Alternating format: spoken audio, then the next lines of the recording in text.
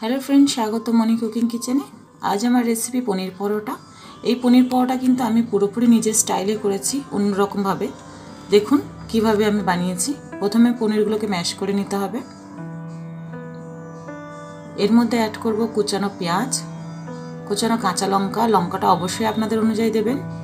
Half টি spoon জিরের গুঁড়ো, half টি spoon ধনের গুঁড়ো, হাফ টি স্পুন লঙ্কার গুঁড়ো আর হাফ টি স্পুন গরম মশলা।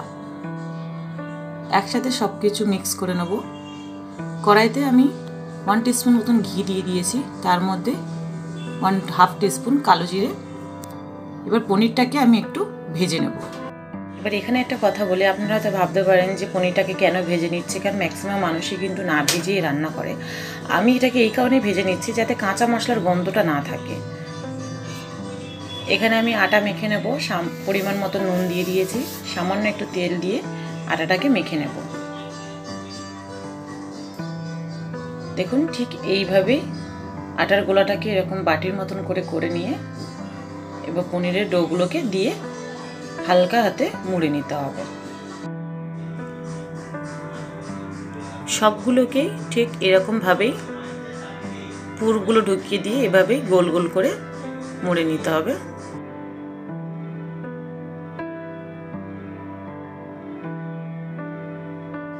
ঠিক এইভাবেই সবগুলোকে বানিয়ে নেব। এবার বলে দিই, এই আটার গুলি কিন্তু আপনাকে আটার গুঁড়ো দিয়েই বেলতে হবে। তেল দিয়ে কিন্তু বেলতে পারবেন না, তেল দিয়ে ভালো বেলা হবে না। আটা দিয়েই কিন্তু আপনাকে বেলতে হবে।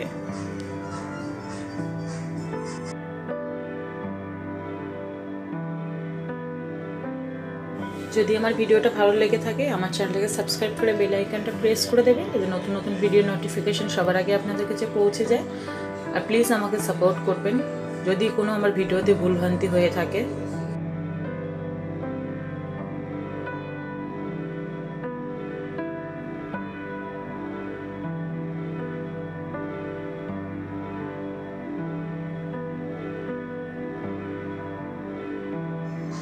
দেখেন পরোটাটা কি সুন্দর ফুলছে। আপনারাও যদি আমার ভিডিও দেখে সঠিক নিয়মে এভাবে বানান, আপনাদের পরোটাগুলোও কিন্তু এরকম ফুলবে এবং সফটও হবে। এটা বড় থেকে বাচ্চারা কিন্তু খেতে পারবে। বাড়িতে ট্রাই করে অবশ্যই আমাকে জানাবেন কমেন্টে